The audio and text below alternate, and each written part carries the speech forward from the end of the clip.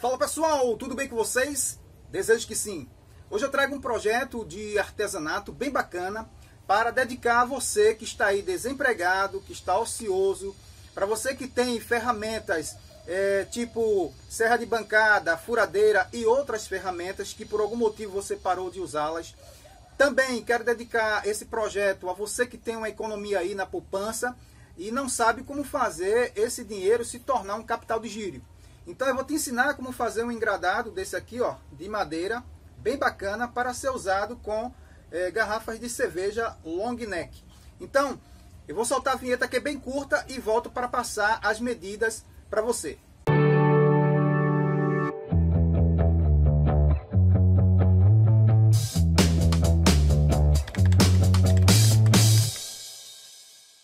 Bem, de volta para darmos início à confecção do engradado para garrafas de cerveja long neck.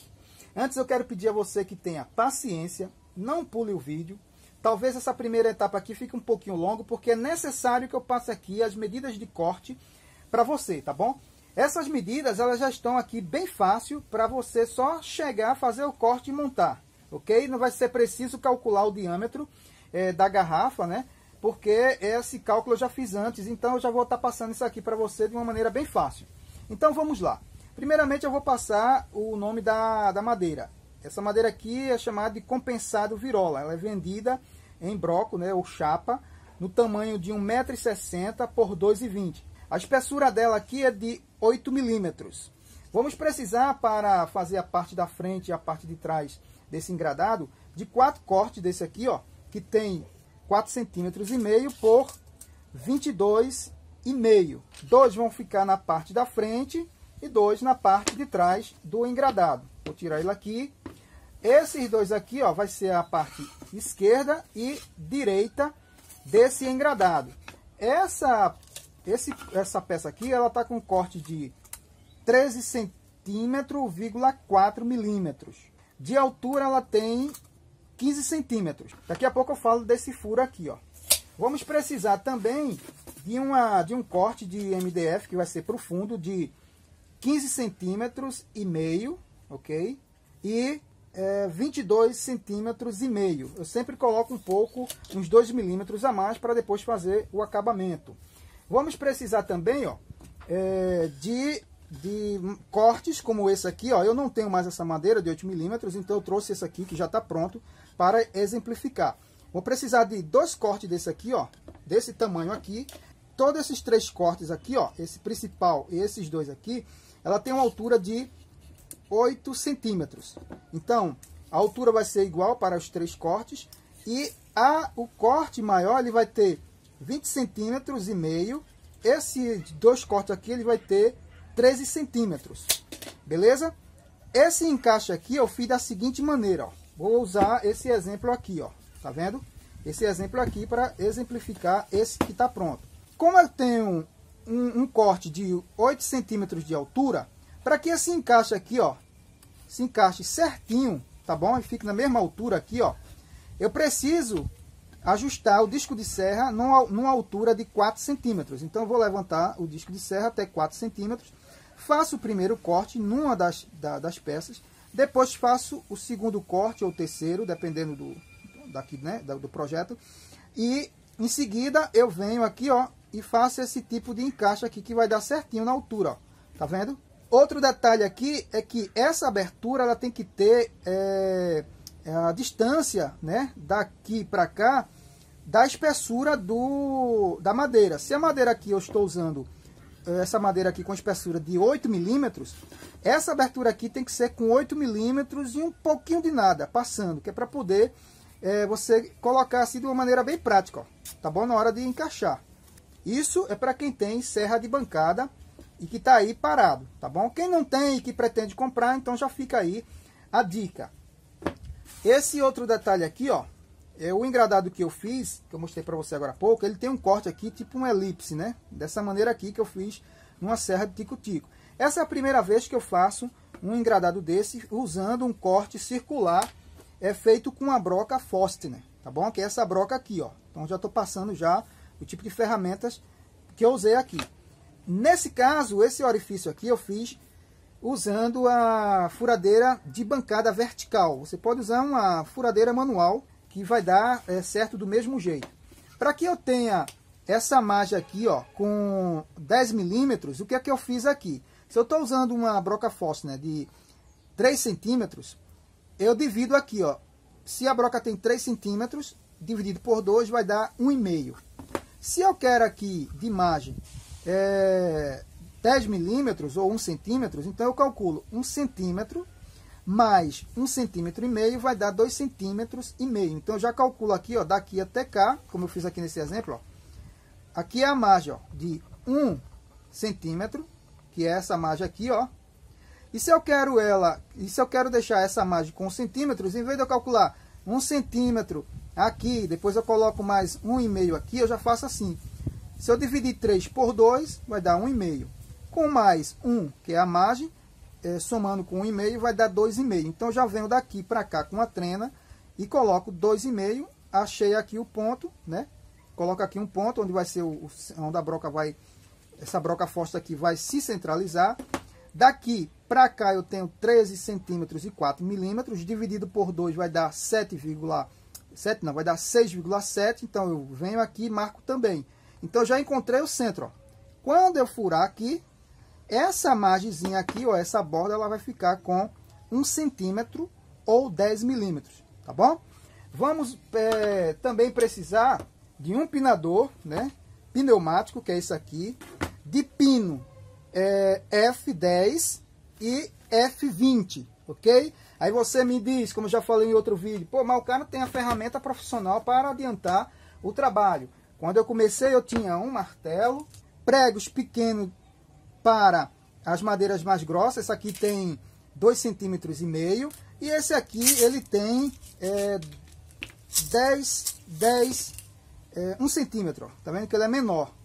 Passada aí a dica é, das ferramentas né, e materiais que vou usar, vai ser preciso também de cola, cola branca extra forte e lixa é, número 80 e também é, 220, que é para o acabamento, tá bom? Eu não tenho aqui, porque está em outro local, mas a, a, lixa que vai ser usado para esse projeto aí, quando você fizer, vai ser é, 80, de número 80 a 220, beleza? Que é para o acabamento. Agora vamos começar a montagem desse engradado.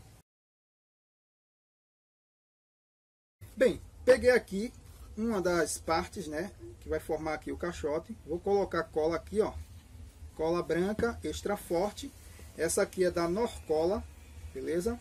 Vou fazer isso aqui, ó. Vou alinhar. Alinhei aqui a madeira. E vou usar agora o pinador, ó. aqui já foi colocado um. Vou colocar o outro aqui, ó.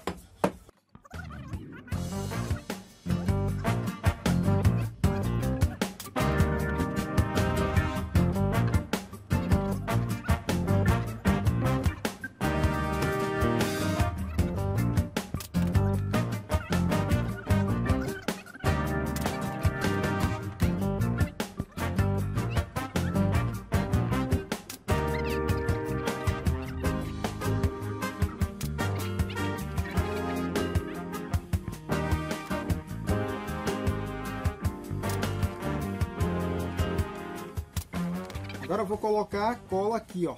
Toda essa área. Ó.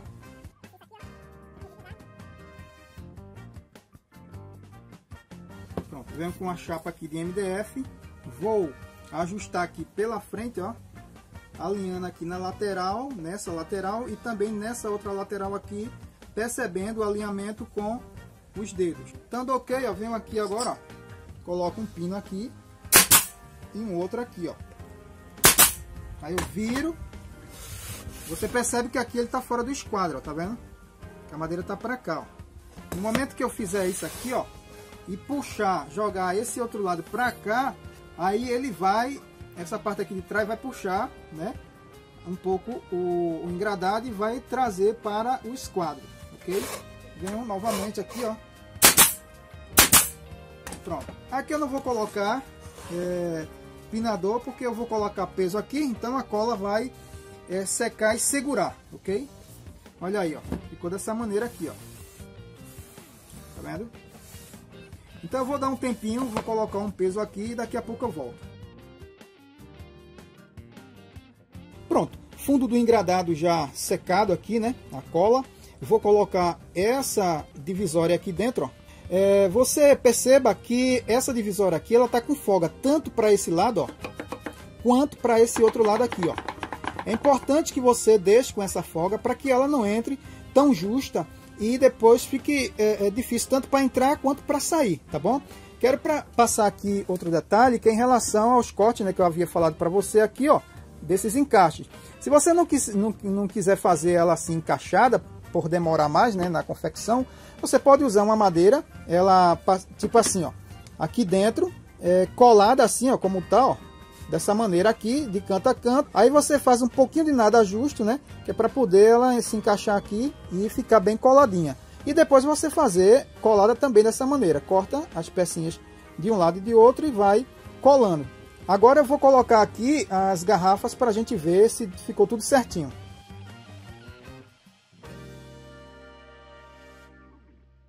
Agora eu quero passar uma dica bastante importante para você, que é em relação a essas quatro garrafas aqui de marcas diferentes. Essas duas primeiras aqui é da marca Heineken. Essa primeira aqui ela tem um diâmetro de 5 centímetros, 5 milímetros. Essa outra aqui, que é um pouquinho maior do que ela, tem 5 centímetros e 8 milímetros. Já essas duas aqui, que é da Skoll e da Antártica, essa aqui é a Skoll Beach, beleza?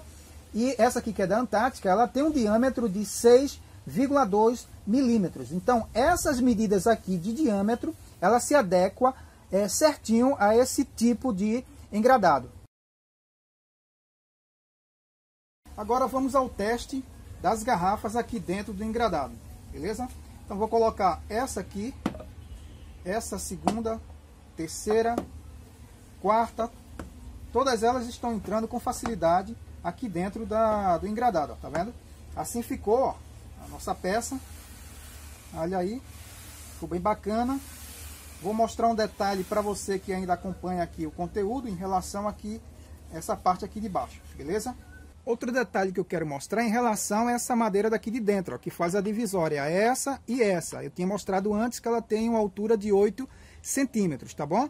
Essa última madeira aqui, ó, Daqui de baixo até onde está a chapa de MDF, ela tem 8 centímetros de altura, tá bom? Então, esse, essa madeira aqui está cortada nessa altura. Isso para uma questão de estética. Você pode fazer esse corte nessa altura aqui ou na, na altura dessa madeira aqui. Eu não gosto aqui, feito aqui, ela terminada aqui no meio, porque fica muito feio. Então você, quando for fazer eh, o seu engradado, você escolhe ou deixa aqui nessa altura ou nessa altura aqui de cima. E aí, gostou do conteúdo de hoje? Foi útil para você? Espero que sim. Peço que você tome iniciativa agora, aproveite aquelas ferramentas que estão aí guardadas por algum motivo e as usem para fazer peças artesanais como essa aqui, por exemplo, tá bom? E você que tem uma pequena economia guardada aí no banco, onde está correndo pouco juro, pega essa sua economia, compre ferramentas, madeira e passe a fazer peças artesanais como essa aqui, ou como outras que você pode acompanhar no meu Instagram, que é o Artesanatos na Vitrine. Lá tem essa peça aqui e outras que você pode acompanhar. Então, fazendo isso, você vai fazer com que esse dinheiro que você tem se torne um capital de giro, tá bom? Se gostou mesmo deste conteúdo, deixa aqui seu like, faça seu comentário, compartilhe esse conteúdo com outras pessoas que gostam de marcenaria ou artesanato. Faça um convite também para que você venha se inscrever no canal é, clicando nessa palavrinha aí, ó, inscreva-se, em seguida ative o sininho de notificação e em seguida clique na palavra todos para que você possa receber é, os vídeos novos que eu vou estar postando aqui no canal, tá bom? No mais, um forte abraço a todos e fiquem com Deus.